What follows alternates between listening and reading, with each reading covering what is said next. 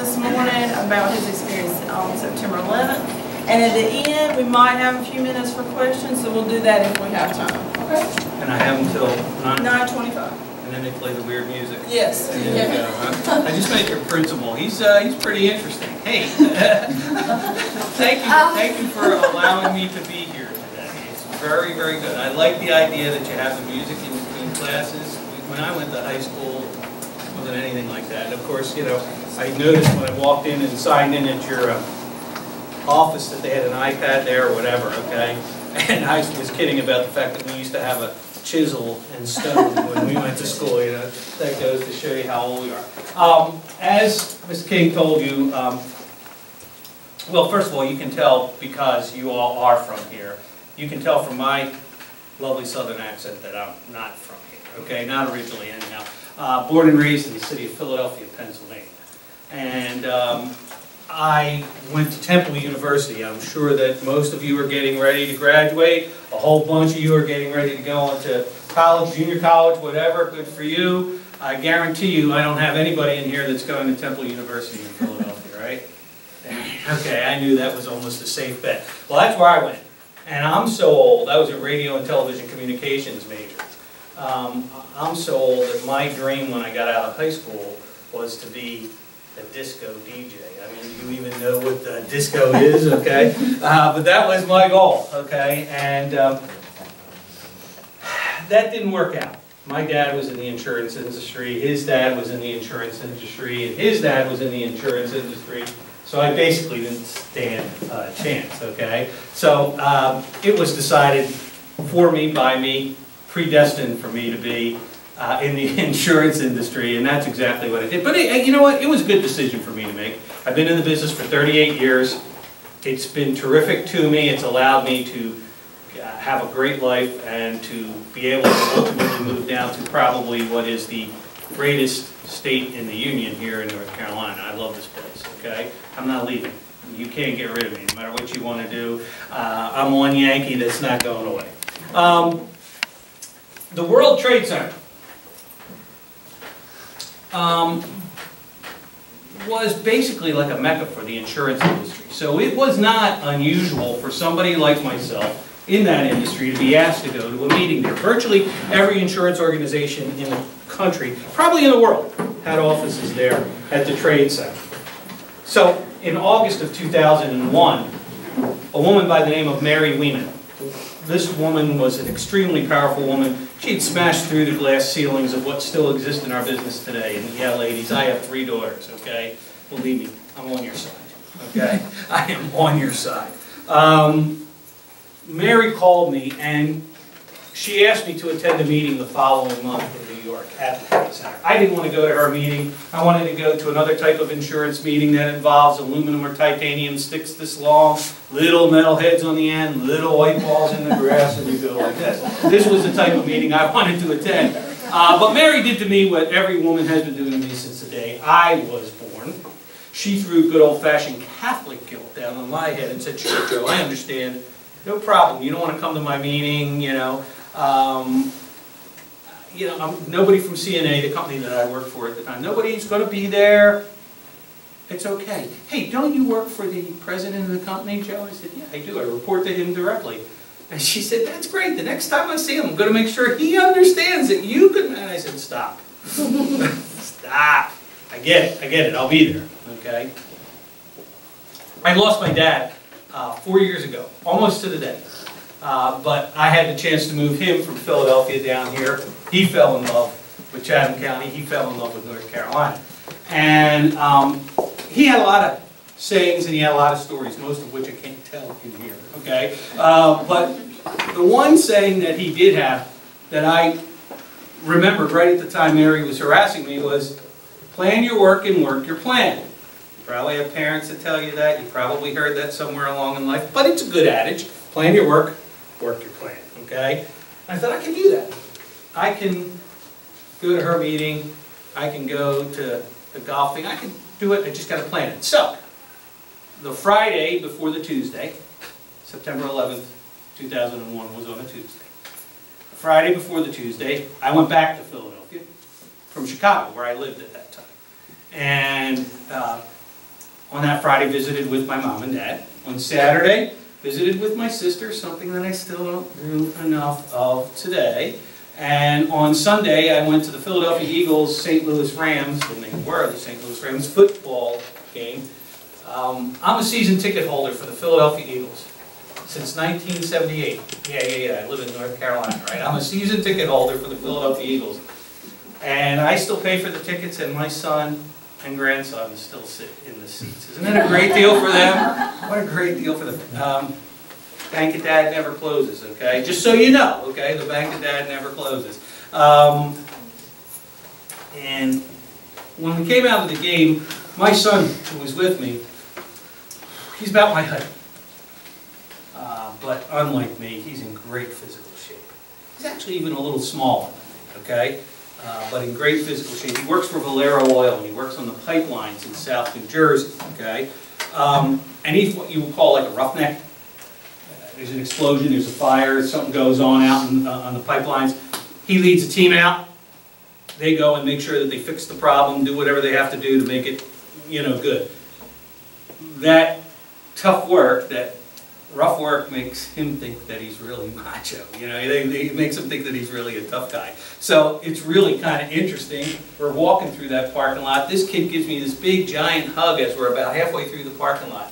And he, and he whispers in my ear, I miss you, Dad. And I push back and see a little tear in his eye. And I knew he wasn't crying because of the game. The, the Eagles beat the Rams. Everybody beats the Rams, okay? Um, I, I guess it was a pretense of what was about to occur. And we just didn't know. I got my car, he got in his truck. I went down to southern New Jersey to this beautiful uh, golf resort where we were going to have that golf round next morning. And I woke up the next morning, had some fun, had some fun at lunch. Then we had a real business meeting on Monday afternoon. Yeah, kids, it isn't all fun and games, okay? Uh, and um, on the, uh, after that business meeting, we were going to have a, a dinner. I told the folks at the dinner that I couldn't stay up with them all night long like they like to do because I had a plan. I had to work the plan. If you've ever been to New York, anybody, anybody ever visited New York City? Okay. Anybody come from New York? There you go, okay? This she knows to be true. If you're going to New York, the one thing that you don't want to have to do is drive into New York City. It's brutal. Traffic is just absolutely brutal. I wasn't about to do that myself. I had a plan. My plan was to go back from where I was in Jersey to Philadelphia to Amtrak. Take the train from Philadelphia back up to New York City. That was the way to go. And that's exactly what I did. I got up at 3.30 in the morning. Um, drove back to Philadelphia, got there about 5.30, bought my round trip ticket for the train. The train pulled in at about 6 a.m. I ran down the steps, took off my suit coat. As a matter of fact, can I do that? You mind? It's hot in here. Um, took off my suit coat, took off my backpack. I don't use a briefcase, I use a backpack. Took out my laptop, turned it on, put it on my laps, got in the train, sat down, did what all of us insurance dudes do at 6 a.m. in the morning on the Metroliner train on the way to New York with our laptops on, on our laps. I fell asleep. It was 6 a.m. in the morning. I was very, very tired. Off we went on the train. We were about two-thirds of the way up when my cell phone rang. Wow. I am in a room full of people that predominantly don't know life before cell phones. Mm-hmm. They've been in your life since the day you were born, right? Mm-hmm. Yeah, probably were baptized with a phone in your ear, okay? I mean, you know, this is the way life is. Now, for those of us that remember back in the day, there are a few of us that remember back in the day. When you were going on a trip like this, right, you had to have a plan. You had to have it on an itinerary. That itinerary was on a piece of paper. It told you where you were going to be, what meetings you were going to be at, what hotel you were staying at, okay? What hotel room was, what the phone number was for the hotel so that people could call you, okay? And then you took this thing called an AT&T long distance card with you because God forbid you had to pay for long distance calls back in the day, okay? It was brutal. Now you have, you know, national plans, international plans. You call India today for nothing, okay? This wasn't the way it was, but back in the day you had to have a plan. With cell phones, wherever you are, that's where you'll be, except here in this high school, because I know there's no friggin' service here, okay? But wherever you are, that's where you'll be, okay? Just hit me up with a cell phone, right? That's all you need, just hit me up with a cell phone. Um, it wasn't a whole lot different in 2001. Cell phones were all okay, and everybody basically was having it. So before this trip, I had said to my wife, listen, I got a meeting in New York on Tuesday, I'm going to go back to Philly, visit with the family, go to the game with Joe, have the meeting on Tuesday in New York, I'll be back Tuesday night, love you. That's basically all I told my wife. No plans, no itineraries, no big lists. You think I forgot where I was in the story, I was on the train asleep with my laptop on, okay? And the phone, the cell phone rang, and I picked it up and I very groggily said, good morning. And it was my wife, and she said, I'm very sorry, didn't mean to wake you up. I said, no, that's okay. Train's about ready to pull into Newark, and I gotta get off. And she said, Newark, I thought you said you were going to New York. And I said, yeah, yeah, but it's a lot easier to get to the World Trade Center if you take the PATH train from Newark because it stops right underneath the World Trade Center. So I'm going to get off. And so that morning, I told my wife exactly where I was going, where I was going to be. I got off that train dutifully with thousands of other New Yorker, uh, New Jerseyans and New Yorkers, and got onto the PATH train and made my way into the World Trade Center. And when we got to the South Tower, the building that I was in, um, the security people were absolutely incredible. They seemed to know who belonged in those buildings simply by looking at your face. Nothing more, just looking at your face. Do you know that in that building, there were, at any point in time, as many as 25,000 people? Both buildings, so you're talking 50,000 total. And yet these people seemed to know who belonged and who didn't belong. There was a bombing in 1993 at the Trade Center. So the 9/11 event wasn't the first event there, okay?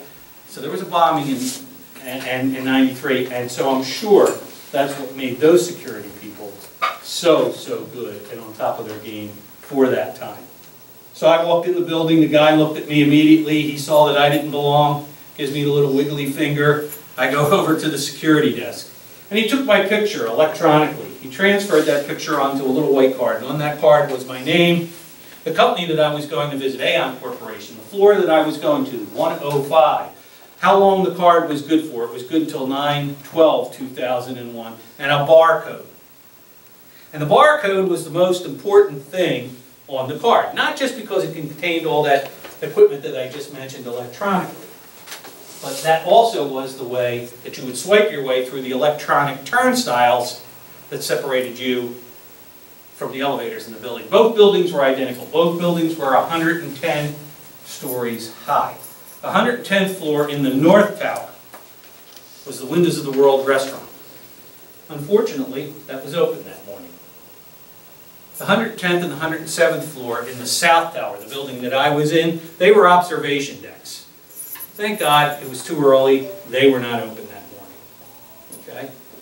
The other floors that I didn't mention above 105 in both buildings, heating, ventilation, air conditioning, elevator equipment, elevator cabling, no human beings. We were going up to 105, the highest occupied level of the South Tower at that time. When we got through the turnstiles, you had your choice of elevator, banks of elevators that you had to go to. I went to the one that was at the far left. It went on an express basis to the 78th floor. At that 78th floor, same as on the 44th floor in both buildings, but at that 78th floor was what was known as a sky lobby. Each of the buildings had three lobbies, one at the ground, one at the 44th floor, one at the 78th floor. You can't build elevators that go up 110 straight floors. Not possible. It's not an engineering possibility. You're all probably smarter than me and probably already knew that. Um, but, so these were built so that you had three lobbies. We went up to 78 highest sky lobby level, and switched off onto a bank of elevators that took us up to 105. And when we got there, there and the elevator doors opened up, Mary Wieman, the woman that I had mentioned earlier, that had shamed me into being at this meeting. And there she was, she's standing in front of us, and it was kind of an interesting moment because there she is, and she's got a spray bottle of Murphy's Oil soap in one hand and a rag in the other.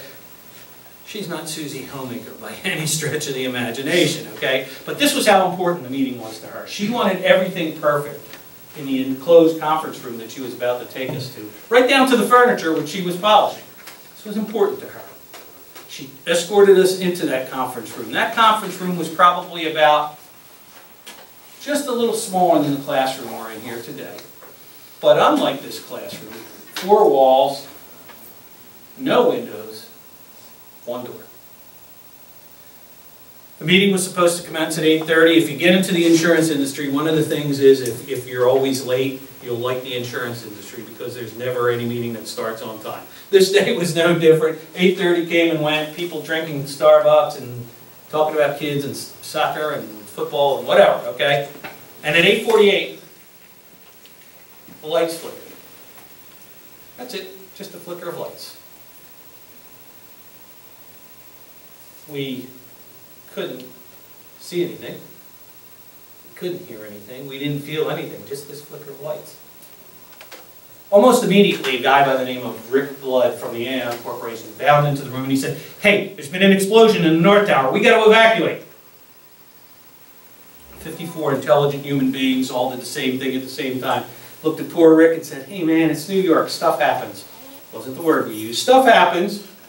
Let us have our meeting. And he looked at us and he said, man, you don't understand. I'm a volunteer fire marshal for 105, 104, 103. I can't leave until all of you leave. We gotta leave. Um, and I know he got everybody out of that room that day because I was the last guy out. He took us all to the nearest fire stairwell on 105, and that's where he proceeded to tell us that we were now going to walk down 105 flights of steps. Oh yeah, what a bunch of happy campers, okay? Everybody did the same thing. They reached into their pocket or to their phone or to their, or to their hips or their whatever, I gave away the line, and pulled out their cell phone. This was back in the day and age when everybody had a flip phone. If any of you have a flip phone, shame on you, okay? But everybody's got a smartphone now, right? But back in the day with the flip phones, you'd flip them up, you'd look at the screen, something interesting, no service, no service, no service. The main cell tower for all of southern Manhattan was on top of the north tower, the first building to be hit. And, you know, we were all smart. We thought, okay, maybe we could get on a regular phone, a landline. Y'all know what a landline is? Yeah, that's good, okay. Um, good idea, except that, think about this, everybody in New York City now on those landlines, calling their mom, dad, sister, brother, aunt, uncle to make sure that they're okay. Even more incredibly, everybody in the world. That's not a stretch, folks. Everybody in the world that knows somebody in New York City is now calling in on those landlines to find out whether mom, dad, sister, brother, aunt, uncle are okay. Cell service was interrupted, landlines couldn't handle all the communication traffic. I understand that there are some of you that are on their way to the armed services in here. Where are they? To the service? Nobody? Thank you. Thank you, sir. You're going to find this out. One of the things that you do know, one of the things that those of us that did serve know, is when you attack the enemy, one of the first things you do is cut the lines of communication. That's exactly what happened that day. Whether it was winning or unwitting all the lines of communication were cut. So now you got this group of 54 type A personalities that can't even communicate with anybody on their cell phones, and they're doubly nicked off about what's going on. And I'm sure you're thinking to yourself, well, didn't you know what was going on? And that's exactly the point. Everyone else in the world, you weren't quite old enough to actually remember, but virtually everyone else in the world knew exactly what was going on outside and inside those buildings than any of us that were right there. We had no clue. We started to make our way down the steps. We got down to the 90th floor. The fire uh, stairwell door on the 90th floor was in a position it wasn't supposed to be, open. Okay, it was propped open. I'm in the fire insurance business, and I know better than to get out of a fire stairwell, right? Wrong. When your parents tell you you're absolutely positively not going to do something, what do you usually do? Yeah, okay, come on, tell the truth, right? Okay, same thing. Same event, and I'm 45. I walk out onto the 90th floor. I don't know whether I gotta get to another fire stairwell, whatever. That's though where I experienced the worst 30, 40 seconds of my life. To look out those windows to the north, to see these gaping black holes through the sides of that other building. Gray and black billows of smoke pouring out of those holes, flames redder than any red I'd ever seen before in my life, licking up the side of the building and beyond the roof level. It was a beautiful, crystal clear day that day in, in September in New York City. And I remember being able to see clearly through that smoke, through that fire, into those huge black holes and seeing the fuselage of a large plane lodged inside the other building. And I immediately thought to myself, my God, how did the pilot not see the building? How did he miss the building? And the fact of the matter was, he didn't miss. He didn't miss. You see all that, you see furniture, paper, people being pulled out of the building against their will. It was an incredible, awesome, gruesome sight. And I was so afraid. I knew it wasn't an Xbox game, I knew it wasn't a made-for-TV movie, I knew this was reality. I just wanted to leave. People were on that floor frozen, whether they were frozen in fear, mesmerized by what they saw, screaming at the top of their lungs, and yet they couldn't seem to move. I, I had to get out. I turned to leave. One of the guys that was in the meeting with me, Lud Picarro from Zurich Insurance Company, he's behind me, and he's this huge human being, played middle linebacker at University of Pittsburgh. I almost knocked him over with my stubby little body because I was in such a hurry. And he looked at me, grabbed me, and he put his hands on my shoulders. He said, what are you going to do, man? I said, I'm getting the heck out of here. What are you going to do? And he looked at me and he said, you know what? That's a really, really good idea, but before I go, um, I'm going to go. And he pointed to the closest men's room. That simple decision to use the restroom, that simple delay in his departure cost him his life that day. That simple delay. I got to the top of the fire stairwell door. Uh, they're making an announcement. The event's been contained to the north tower. The south tower is considered safe. If you work in the south tower, we suggest you return to your workstation. If you are a visitor, we suggest that you stay where you are until further notice. If you feel you need to leave, please proceed with caution. Doesn't sound logical, right? But it made tons of sense. There's a woman or man in charge of building security somewhere on the ground level of that building at that point. You know there's a cop and a firefighter on either side. They're looking at this person saying, there are as many as 25,000 people in your building. We can't let them outside. It's raining concrete, steel, and bodies. What are you going to do? And I'm sure this person thought to themselves, elevators are going up and down, electricity's on, ventilation system's working. Let's just wait and see what's going on. Who would have ever thought that within 18 minutes the same exact thing would happen to our building? I was leaving.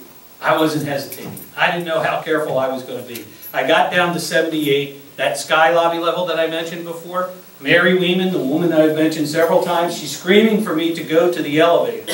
And finally, my pea brain, my, con my common sense finally hit me, and I thought to myself, you know what? I don't think I should get in an elevator. Building, state of duress, fire, mm, stay out of the elevator. Yeah, I know it's not my building. Uh, I'm not going. And I turned and I went back to the stairwell, arguably the best decision I made in what is still my life. Because I was somewhere between the 74th and the 72nd floor when the plane, second plane, plowed through our building. That plane went through our building between floors 78 and 82 on an angle. We were just a few short stories below the strike zone.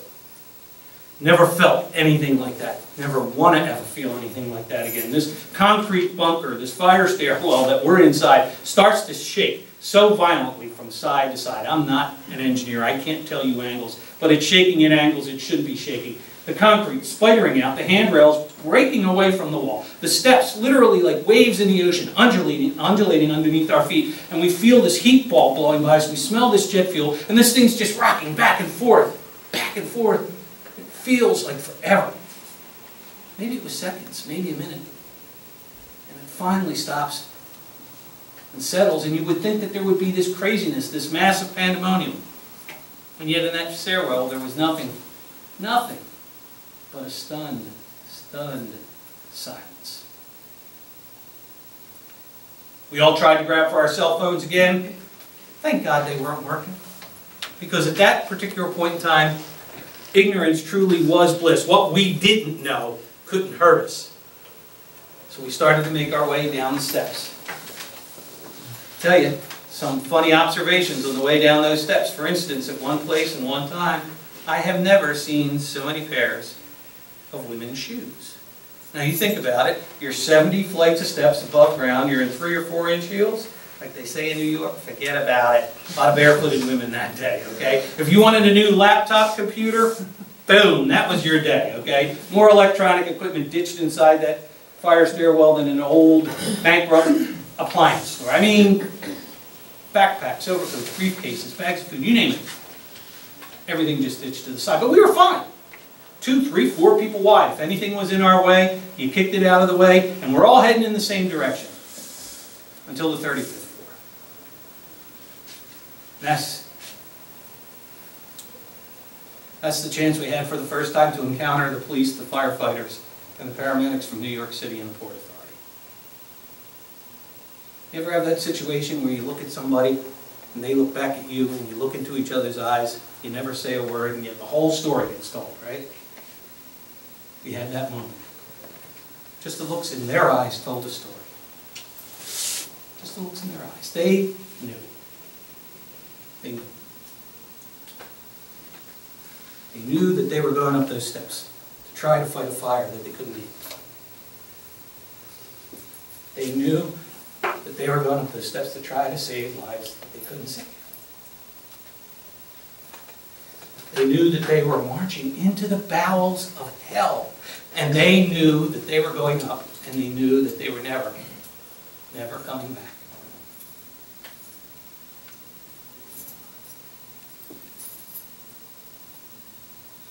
They knew.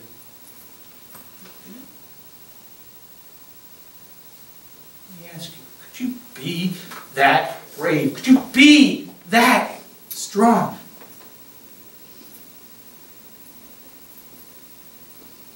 Right at that same time, there was a guy walking along with us, maintenance guy from the building. Had a name tag over his pocket, I never got his name. He was carrying with him one of the most annoying inventions God ever allowed us to create. The Nextel telephone with the walkie-talkie feature, okay? And this thing had been incredibly quiet the entire time he was walking along with us. All of a sudden this thing starts to belch, beep, make all kinds of noise, and we hear this voice scream out, we're on 82, we can't get down, we don't know what we're going to do. And this kid, he stops. He's not much older than you guys. He stops, dead in his tracks, spins on the balls of his feet. He's to my left. I looked at him, I said, where are you going to go, man? What are you going to do? And he looked at me and he said, you know, I don't know, but I got to save my friend. I submit to you that nameless maintenance man, that is a true American hero. That man who was willing to lay down his life to save that of a friend. I can only hope the cops and the firefighters in that building turned him around that day, made him leave. When we got down to the lobby level of the building, they couldn't let us out on the street. You're looking out at crumbled concrete, twisted steel, red blotches on the ground, and you knew what those red blotches were. They made us go down into the underground, the concourse level of those uh, buildings in that plaza. And you're in this underground that's a rat maze of corridors. Every store known to mankind, like the biggest mall all, in all the world, underground, okay? Signs that mean nothing to you unless you're from New York. One, two, three, four, red, blue, green, yellow. I mean, you have no idea where you're supposed to be going, right? We're seeing people that are really hurt by the event. People with missing limbs, gaping wounds, true blood and gut stuff. Your human nature makes you want to reach out and try to help. You couldn't. There were so many cops, firefighters, police there that day to help those people. I've never seen such an outpouring of caring, of concern, of love. And that's what that was that day, this total outpouring of love. So the people that needed help were getting the help they needed. Those of us that were okay, we're on our own. The herd mentality takes over. I hear a guy at the front of my herd say, we want to get to the northeastern end of the complex. It's the furthest away from the buildings. My internal GPS said, sounds good to me. We followed him. We start winding our way through that underground uh, set of corridors. We're about ready to make our final left. There it is. Starbucks. And it's open. And there are people in line. I kid you not, okay? I'm a card-carrying member of the Starbucks Nation, okay? But I don't know how much double, triple, whatever the heck it is, people do. It just goes to show you that not even in the greatest of moments, the greatest minds are where they need. We got to the farthest end of that complex. We go up the escalators that are no longer escalating. They are plowing back everything. I mean everything. It's grotesque. Uh, with these Bobcat bulldozers. They're screaming at us, don't stop, don't stop, run, run, run. You get across the street in front of Trinity Church, and you have what you would call a Sodom and Gomorrah moment. You stop, you turn around, and you look at this unbelievable sight, the sticker tape of concrete, steel, and bodies. On the way out, I was fortunate enough to run into a friend of mine, David Duffy. He's a guy that I work with all the time in New York. He was in the building. We met together. It was fate. He said, what are you going to do? I said, I don't know. I'm supposed to get on a train, go back to Philly, get in a rental car, drive to the Philly airport, fly back to Chicago. I don't think that's going to happen. He said, you know what? My wife works on the 40th floor of the North Tower. I haven't heard from her. I want to get home, make sure she's okay. Why don't you come with me? I said, sure. Where do you live? And he said, Upper West Side uh, 111th Street. I went, whoa, that's a long way away. He said, you got something better to do? And I said, no, no, okay, let's go. We were only eight blocks north of the building. Eight minutes. Commercial laundry. Doors thrown wide open. WINS, the all-news radio station, blaring out this was an on-purpose terrorist attack. Our jaws just dropped to the ground. Not here, this can't happen here. But it was the next couple of sounds that are the ones that haunt us every day. The sound of the twisting steel and crumbling concrete of what once was the north, the south tower, the building that we had been in just eight minutes prior, coming to the ground. Even more hauntingly, the sound of millions of New Yorkers all screaming the same blood-curdling scream, all at the same time.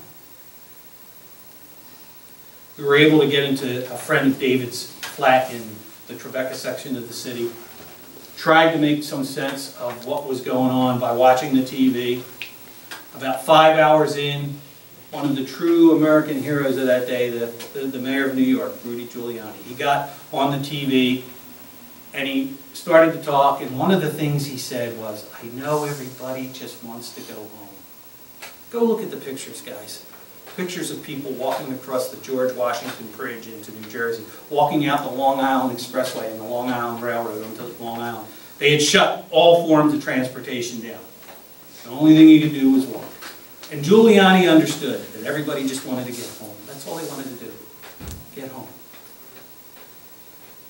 And my buddy David, who was with me, said, come on, we're going. I said, where? He said, to the subway. We're going back to my place. Midtown Manhattan, you know, Empire State Building, maybe it's the next target. We didn't know. But we went, we got on the subway, we were only two blocks up, uh, two st stops up, pardon me, and there's 32nd Street Amtrak. The way I got in, the way that I wanted to get out, even if it was just a Philly. We both got out of the train together, didn't talk to each other. There's a woman from Amtrak, she sees me because we look like tourists, and she says, where you going, honey?